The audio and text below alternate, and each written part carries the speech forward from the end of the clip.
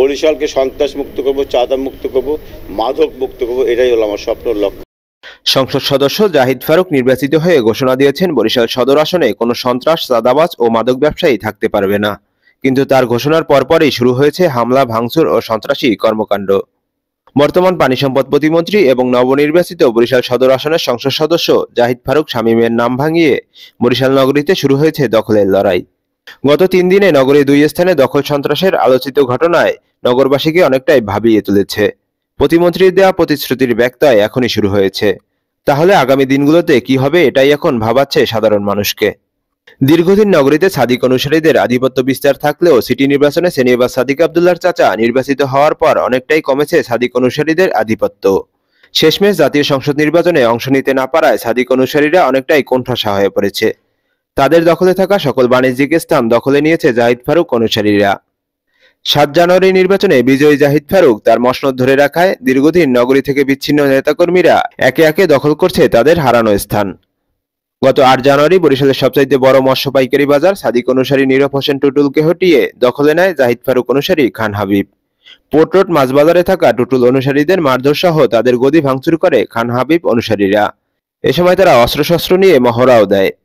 এদিকে বরিশাল আইন মহাবিদ্যালয়, ল কলেজে হামলা, ভাঙচুর এবং কলেজ পরিচালনা পর্ষদের সভাপতি, ভারপ্রাপ্ত অধ্যক্ষ, উপাধ্যক্ষ ও কয়েকজন ছাত্রকে মারধরের অভিযোগ উঠেছে। আজ মঙ্গলবার সন্ধ্যা ছয়টার দিকে নগরীর হাসপাতাল রোডের ল কলেজ ক্যাম্পাসে এই হামলা, ভাঙচুরের ঘটনা ঘটে। বরিশাল আইন মহাবিদ্যালয়ের ভারপ্রাপ্ত অধ্যক্ষ অ্যাডভোকেট মোস্তফা জামান খোকন জানান, শীতকালীন বন্ধের পর আজ ল কলেজের এলএলবি প্রথম বর্ষের ক্লাস কার্যক্রম শুরু হয়েছে।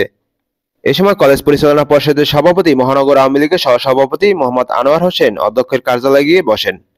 এ সময় আরিফ হোসেন অপু নামে একজন বিশ থেকে পঁচিশ জন সহযোগী নিয়ে প্রতিমন্ত্রীর লোক পরিচয়ে অধ্যক্ষের কক্ষে ঢুকে অকথ্য ভাষায় গালিগালাজ করতে শুরু করেন। এক পর্যায়ে তারা অধ্যক্ষের কক্ষ থেকে কলেজ পরিচালনা পর্ষদের সভাপতি মোহাম্মদ আনোয়ার হোসেনকে চ্যাঙ্গুলা করে কলেজের মাঠে নিয়ে বেধম মারধর করে। তারা তার পরনের কাপড়ও খুলে ফেলে।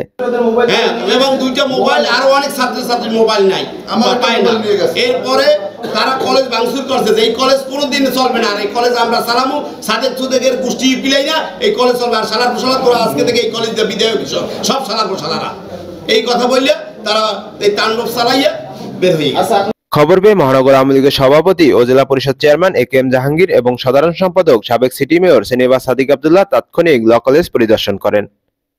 মহানগর আওয়ামী লীগের সহসভাপতি মোহাম্মদ আনোয়ার হোসেন বলেন, বিনা কারণে আমাকে মারধর করা হয়েছে। এই ঘটনায় কলেজ প্রশাসনের পক্ষ থেকে মামলা করা হবে। তিনি এই ঘটনার সুষ্ঠু তদন্ত ও বিচার দাবি করেন। তাহলে এটা তো জাতীয় বিশ্ববিদ্যালয় চালায় এটা তো আহ, সাদেক সাহেব চালায় না কলেজ। কলেজ জাতীয় বিশ্ববিদ্যালয় চালায়। সাদিকের কথা মতো চলো আহ, সাদিকের কথা মতো যে ঠালায় চলবে এই এলাকায় থাকতে পারবে না। আচ্ছা। সাদিকা রাজাকার তোরাও রাজাকার।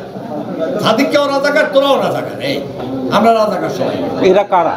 যারা এ- হামলা এরা হলো অপু আর ছাত্র দলের আজিম যে ওই মন্ত্রীর লগে থাকে ছাত্র দলের আগে ছাত্র দল করতে আমি চিনি ওরে। সে এবং এই অপু, এরা তিরিশ চল্লিশ যাইয়া আমার হাই স্কুলের শিক্ষকদের থ্রেট করছে যে এখানে সিরা থাকতে পারবে না কমিটিতে, এখানে কেউ থাকতে পারবে না, এরা সবাই সাদিকের লোক, এরা আওয়ামী লীগ করে না, এরা সব রাজাকারের বাচ্চা।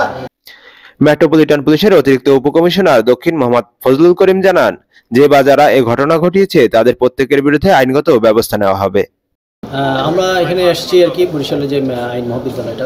এখানে যে এখানকার যে চেয়ারম্যান মহোদয় ছিলেন, তাকে তার বিভিন্ন লাঞ্ছিত হয়েছে। এবং এটা খুবই দুঃখজনক ঘটনা এবং আমরা এখানে আসছি, ঘটনা তাদের কাছে আমরা শোনার চেষ্টা করছি এবং বিষয়টা আমরা তদন্ত শুরু করেছি। যে আসলে ঘটনাটা কেন ঘটলো, কীভাবে ঘটলো, কাদের দ্বারা ঘটলো বিষয়টা আমরা এখনও খোঁজ খবর নিচ্ছি কথাবার্তা বলছি। এবং তাদেরকে আমরা বলেছি যে ঘটনাটা যে বা যে যাই ঘটুক না কেন, এটার জন্য কঠোর আইনানুক ব্যবস্থা আমরা নিব। আমরা শান্তির যে পরিচয় শান্তি রাখার জন্য যা যা করা দরকার আমরা সেটা করব।